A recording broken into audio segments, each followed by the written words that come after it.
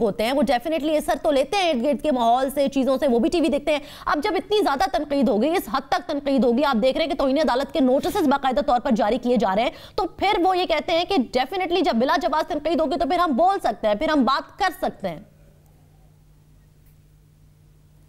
دیکھیں، یہ ایک کمزور عدلیہ میں ایسے ہوتا ہے، جب عدالتیں اپنے آپ کو کمزور محسوس کرتی ہیں، تو انہیں عدالتوں سے ہٹ کے پھر تقریریں کرنی پڑتی ہیں۔ اور میں شروع سے یہ کہتا رہا ہوں آج سے نہیں تقریباً پچھلے چھ سات سال سے کہ ان کو اجتناب کرنا چاہیے پولیٹیکل ایشوز میں گھسنا نہیں چاہیے۔ خاص طور پہ طور پہ جبکہ آئین میں بھی لکھا ہوا ہے کہ ڈسکوالیفیکیشن جو پارلیمنٹیرین کی ہے اس کا فورم جو ہے وہ الیکشن کمیشن ہے۔ آئین میں باقاعدہ اس کا ذکر ہے۔ تو وہاں پہ سپریم کورٹ کا اس طرح سے گھس جانا اور پھر اس قدر سیاسی الجھنوں میں چلے جانا کہ پھر یہاں تک ہو گیا کہ ایک چیف جسٹس جو ہیں جسٹس چودھری صاحب، وہ ایک پارٹی کو ہیڈ کرتے ہیں، انہوں نے سیاسی جماعت ہی بنا لی۔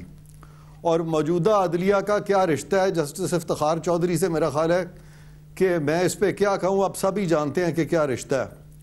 تو اب لگ یہ رہا ہے کہ عدلیہ چونکہ اپنی لمٹس میں نہیں رہی اور اب ان کو کچھ خطرات لگ رہے ہیں جیسے کہ منڈلا رہے ہیں ان کے لیے۔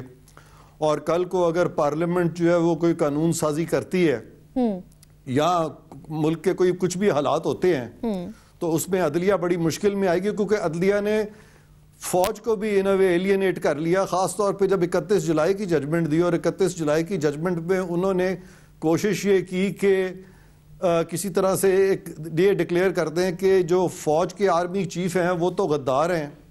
اور چیف جسٹسز جو ہیں وہ بڑے محب وطن ہیں۔ تو وہ فیصلہ جو ہے وہ اگر وہ ٹرائل کر سکتے ہیں chief of the army staff کا اس طریقے سے جس طرح سے انہوں نے کرنے کی کوشش کی تو کل کو یہ جو فیصلے دیے گئے ہیں خاص طور پہ جس طرح یوسف رضا گلانی صاحب کے خلاف فیصلہ آیا تھا تو مجھے لگتا ہے ان ججز کے بھی ٹرائل ہو جائیں گے۔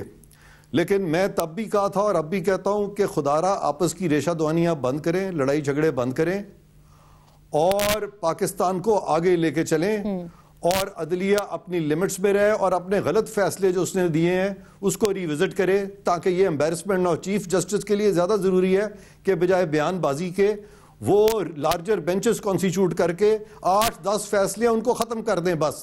اس کے بعد پاکستان جو ہے نا ایک نئی روش پہ چل پڑے گا۔